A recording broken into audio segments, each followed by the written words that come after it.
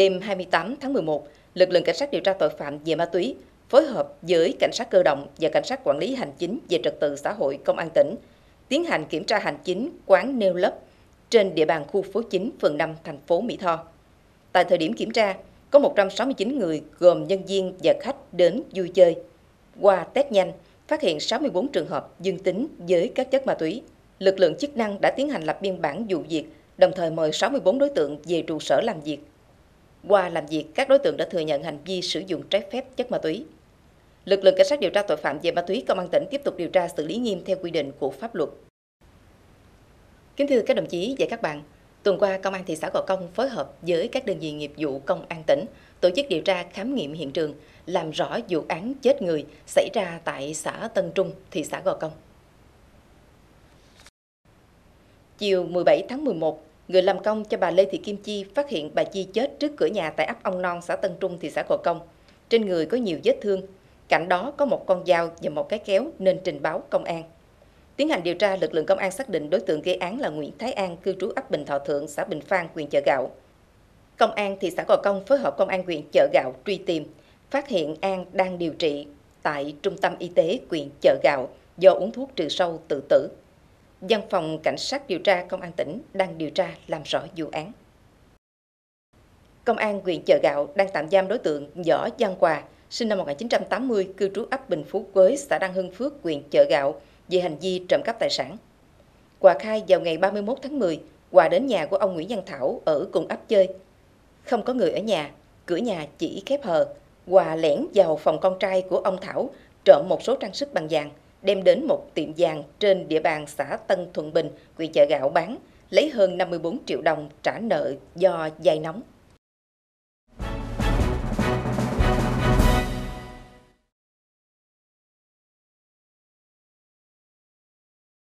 Đêm 25 tháng 11, tại khu phố 10, phường 6, thành phố Mỹ Tho, Công an thành phố Mỹ Tho tổ chức hợp dân trao giấy khen của Giám đốc Công an tỉnh tặng 4 cá nhân, kèm tiền thưởng 1 triệu đồng mỗi cá nhân về thành tích xuất sắc trong đấu tranh phòng chống tội phạm. Đó là em Nguyễn Thị Anh Thư, em Phan Thị Kim Thùy, cùng cư trú phường 2, anh Tạ Ngọc Tiến cư trú phường 10 và anh Đào Duy Hải cư trú phường 4, thành phố Mỹ Tho. Trước đó, vào đêm 17 tháng 11, hai em Thư và Thùy điều khiển xe mô tô trên địa bàn phường 6 thành phố Mỹ Tho thì bất ngờ bị một đối tượng điều khiển xe mô tô từ phía sau vượt lên ép sát, giật túi sách của Thư rồi tăng ga bỏ chạy. Thư và Thùy truy đuổi quyết liệt và đã bị thương khi đạp ngã xe đối tượng. Con tấp đầu nó rồi con đạp xe nó té rồi con té luôn. Rồi bắt đầu nó bỏ đồ lại hết nó chạy. Có mấy chú kia lại hỏi nó chạy hướng nào rồi con mới chỉ là nó chạy qua cái hướng đường Trần Hưng Đạo mấy chú nó gượt theo hai anh Tạ Ngọc Tiến và Đào Duy Hải đã nhanh chóng cùng người dân truy đuổi khống chế, bắt giữ đối tượng giao công an xử lý. Giờ thấy mình giúp cho thôi chứ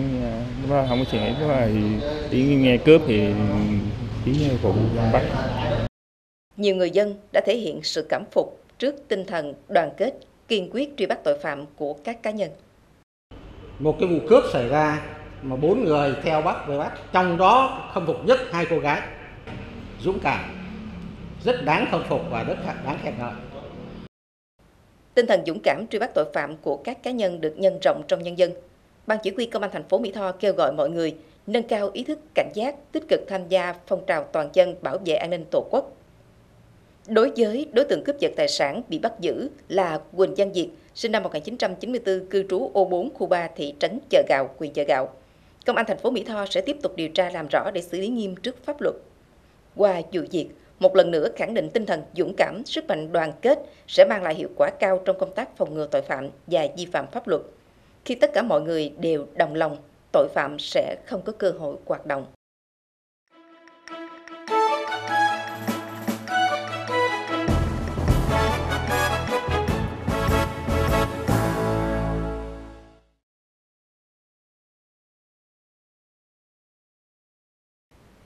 Kính thưa các đồng chí và các bạn, nhằm tổ chức thực hiện nghiêm chủ trương của Bộ Công an và chủ động phòng ngừa đấu tranh với tội phạm và vi phạm pháp luật về vũ khí, vật liệu nổ, công cụ hỗ trợ trên địa bàn tỉnh. Công an tỉnh đã đề ra kế hoạch tổng kiểm tra, mở cao điểm vận động toàn dân giao nộp và đấu tranh với tội phạm vi phạm pháp luật về vũ khí, vật liệu nổ, công cụ hỗ trợ. Qua 8 tháng thực hiện, Từ ngày 27 tháng 3 đến nay, công tác này đã đạt được nhiều kết quả tích cực. Giữ vai trò nòng cốt trong tổ chức thực hiện kế hoạch tổng kiểm tra, mở cao điểm vận động toàn dân giao nộp và đấu tranh với tội phạm vi phạm pháp luật về vũ khí, vật liệu nổ, công cụ hỗ trợ. Thời gian qua, Phòng Cảnh sát Quản lý Hành chính về Trật tự xã hội Công an tỉnh đã tham mưu Ban Giám đốc Công an tỉnh chỉ đạo hướng dẫn các đơn vị công an địa phương đẩy mạnh công tác tuyên truyền, vận động nhân dân giao nộp vũ khí, vật liệu nổ, công cụ hỗ trợ với nhiều hình thức. Qua đó tạo chuyển biến mạnh mẽ trong nhận thức, nêu cao ý thức chấp hành, tự giác giao nộp vũ khí, vật liệu nổ, công cụ hỗ trợ. Cái súng này ờ, trước nay cũng người bạn tặng rồi ờ, để giải trí thôi qua cái ờ, thông tin đại chúng như là đài truyền thanh, đài phát thanh truyền hình nhận thấy cái cái này cần phải nộp công an đó mình đem ra giao nộp. Trong cao điểm, lực lượng các cấp đã tiếp nhận, vận động giao nộp, thu hồi gần 1.900 vũ khí vật liệu nổ công cụ hỗ trợ, vũ khí thô sơ các loại và 308 viên đạn các loại, trong đó có 21 khẩu súng quân dụng. Đơn vị cũng đã phối hợp các cơ quan chức năng tổ chức kiểm tra tại các hộ kinh doanh, các dịch vụ chuyển phát nhanh nhằm kịp thời phát hiện chấn chỉnh, xử lý những hành vi vi phạm, đồng thời tuyên truyền, nhắc nhở cho cam kết thực hiện nghiêm quy định của pháp luật về quản lý vũ khí vật liệu nổ công cụ hỗ trợ. Công an các địa phương tập trung thực hiện quyết liệt các biện pháp đấu tranh ngăn chặn các hành vi vi phạm pháp luật về vũ khí vật liệu nổ công cụ hỗ trợ, rà soát lên danh sách các đối tượng nghi vấn hoạt động phạm tội về vũ khí vật liệu nổ công cụ hỗ trợ để có biện pháp quản lý, tăng cường kiểm tra, kiểm soát, kịp thời phát hiện xử lý nghiêm hành vi vi phạm. Qua đó, Công an các cấp trên địa bàn tỉnh đã phát hiện bắt xử lý 116 vụ, 184 đối tượng, thu giữ 4 súng quân dụng, súng săn, súng hơi, súng bắn đạn cao su, 19 súng tự chế, 31 công cụ hỗ trợ, 185 vũ khí thô sơ, 49 viên đạn kim loại, xử phạt hành chính 72 vụ, 89 đối tượng, với số tiền gần 470 triệu đồng. Khởi tố 7 vụ, 12 đối tượng, có phần ngăn chặn kiềm chế tội phạm, và các hành vi vi phạm liên quan đến vũ khí vật liệu nổ công cụ hỗ trợ. Điển hình, vào ngày 27 tháng 10, Công an thành phố Mỹ Tho kiểm tra phát hiện bắt quả tang đối tượng Nguyễn Việt Trí đang tàn trữ trái phép chất ma túy tại số nhà 9 trên 15, phường 8, thành phố Mỹ Tho.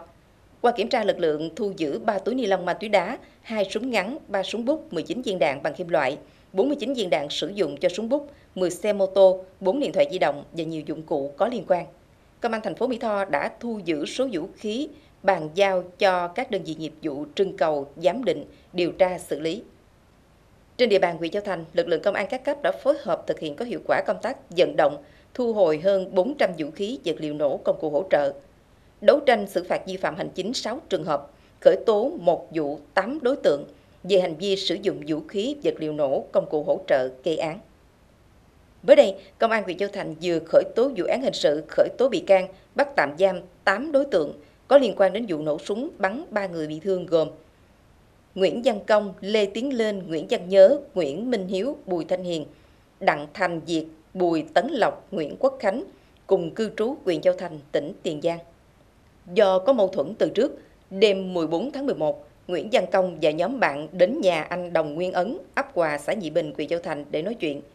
Khi xảy ra cự cãi, Công và Hiền dùng súng bắn anh Ấn và hai người khác bị thương. Tại hiện trường và khám xét nhà ở của các đối tượng, lực lượng công an thu giữ một khẩu súng hơi, 4 vỏ đạn, hai đầu đạn, 6 viên đạn, 23 viên đạn chì, 102 viên pháo, một đèn pin roi điện, hai gậy ba khúc, 4 dao, hai thẻ nhớ. Công và Hiền khai chúng mua súng qua mạng. Thực tế trong nhiều năm qua, cho thấy vào thời điểm cuối năm, tình hình mua bán vũ khí thô sơ, linh kiện súng săn sẽ có chiều hướng phức tạp. Vì vậy, công tác phòng chống loại tội phạm này được đẩy mạnh. Nhằm thực hiện nghiêm luật quản lý vũ khí vật liệu nổ và công cụ hỗ trợ, à, Phòng Cảnh sát Quản lý Chánh về Trật tự xã hội đề nghị các cơ quan, đơn vị, cơ sở kinh doanh và toàn thể nhân dân không để tội phạm, đối tượng xấu lợi dụng, lôi kéo vào việc tàn trữ, mua bán, sử dụng vũ khí vật liệu nổ, công cụ hỗ trợ. Khi phát hiện đối tượng cơ sở có biểu hiện sản xuất, chế tạo, tàn trữ, mua bán vũ khí vật liệu nổ và công cụ hỗ trợ phải báo cáo ngay cho cơ quan công an nơi gần nhất hoặc chính quyền địa phương để có cái biện pháp ngăn chặn và xử lý. các tổ chức cá nhân hiện đang tàn trữ sử dụng vũ khí vật liệu nổ và công cụ hỗ trợ trái phép hãy tự giác đến cơ quan công an nơi gần nhất để giao nộp. Trường hợp cố tình vi phạm sẽ bị xử lý nghiêm theo quy định của pháp luật. Bên cạnh sự nỗ lực của lực lượng chức năng, hơn ai hết, mỗi cá nhân cần phải chấp hành nghiêm quy định của pháp luật, tích cực tham gia tố giác các hành vi vi phạm nhằm hạn chế thiệt hại do vũ khí vật liệu nổ công cụ hỗ trợ gây ra, góp phần bảo đảm trật tự an toàn xã hội, phục vụ phát triển kinh tế xã hội tỉnh nhà.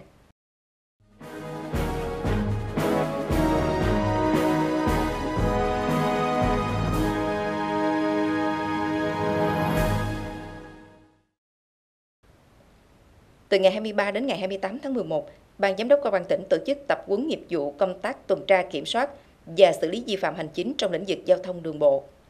Qua 6 ngày tập huấn, 90 học viên là chỉ huy cán bộ chiến sĩ trong lực lượng cảnh sát giao thông công an các tỉnh Tiền Giang, Bến Tre, Kiên Giang, Vĩnh Long, Bạc Liêu, Phú Yên, Cần Thơ được trang bị những kiến thức cơ bản về luật giao thông đường bộ,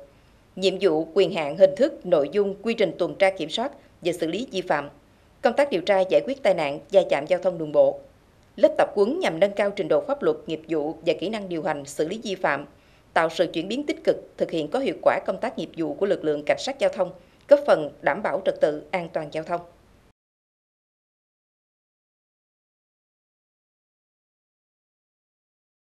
Đêm 29 tháng 11 xảy ra sập cầu giao thông dân sinh Thiên Hộ trên tỉnh lộ 869 nối liền hai xã Hậu Mỹ Bắc A và Hậu Mỹ Bắc B, huyện Cái Bè.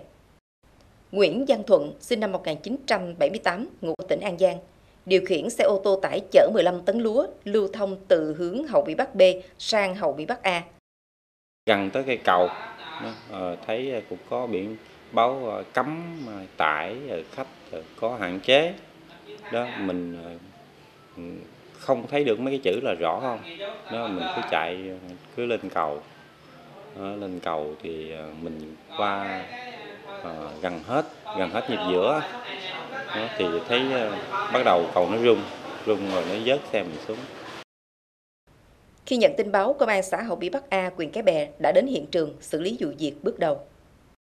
xác định được là, là chiếc xe tải nó, nó, nó chở quá tải nó qua cầu dân sinh nó, thì nó bị sập nó rơi, rơi vào cái móng ờ, trụ mấy bên hậu bắc a. Thì sau khi nắm vụ việc thông tin thì là mới mời tài xế về xã làm việc bước đầu. Vậy là công an xã là nhanh chóng báo ra đội cảnh sát giao thông công an huyện để là xin ý kiến và hỗ trợ để xử lý vụ việc này. Và đồng thời cũng là, là, là, là, là báo thường trực cho đảng ủy ủy ban cho đồng chí chủ tịch ủy ban nhân xã đến trực tiếp hiện trường để chỉ đạo là xử lý vụ việc.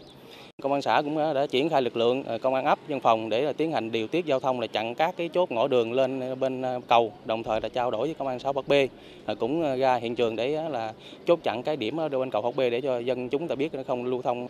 Đồng thời thì cũng là trao đổi với là chỗ trạm cảnh sát giao thông đường thủy để tiến hành điều tiết phân luồng giao thông đường thủy trên kênh Nguyễn Tiếp để cho cho phương tiện tàu ghe biết để hạn chế lưu thông để là tránh là hậu quả tiếp theo có thể xảy ra. Cầu dân sinh Thiên Hộ bị sập chia cắt hai xã đã gây ảnh hưởng rất lớn đến đời sống sinh hoạt của người dân nơi đây. Hiện tại chính quyền địa phương đã chủ động các biện pháp tích cực phối hợp đảm bảo trật tự an toàn giao thông trong thời gian trục vớt phương tiện gây tai nạn, sửa chữa khắc phục và trong giai đoạn xây dựng lại cầu mới. Ở khu vực Thiên Hậu nó có trường cấp 3 và trường cấp 2, do đó là những cái điểm con em của các xã ở ờ, khu vực thì nó cũng tập trung về đây để học mà nếu mà cái cầu dân sinh vừa qua nó cũng có bị à, hư hỏng thì à, cũng gây khó khăn cho con em đi học. Trong thời gian tới về góc độ địa phương thì phối hợp với chỗ giao thông đường thủy phân luồng cũng như mà trục vớt à, phương tiện trong thời gian sớm nhất cho cái tuyến kinh nguyễn tiếp, giao thông được thuận lợi. Để đảm bảo trong thời gian sửa chữa cầu thì cũng có kết hợp với xã B theo chỉ đạo của huyện thì chúng ta sẽ tổ chức là có thể là đưa đò trong thời gian sửa chữa cầu để tạo điều kiện cho bà con đi lại vì à, hạn chế là cái đi đường, đường vòng nó xa hơn. Hiện tại các lực lượng chức năng đang khẩn trương tiến hành khám nghiệm hiện trường, trục vớt phương tiện và triển khai thực hiện các phương án đảm bảo trật tự an toàn giao thông để nhân dân qua lại được an toàn. Thưa các đồng chí và các bạn, chương trình truyền hình an ninh tiền giang kỳ này